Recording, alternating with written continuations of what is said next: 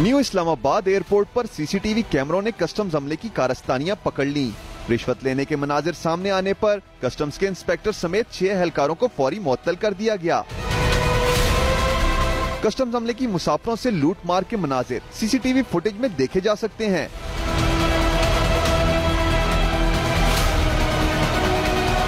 Aviation division ने मुसाफरों की शिकायत पर एयरपोर्ट सिक्योरिटी फोर्स को सबूत इकट्ठा करने का टास्क दिया, जिसके बाद कस्टम अमले की खुफिया निगरानी की गई और गैर कानूनी सरगर्मियों का रिकॉर्ड मुतलका हुकाम के हवाले कर दिया गया। साले मुगल, एक्सप्रेस न्यूज़, रावलपिंडी।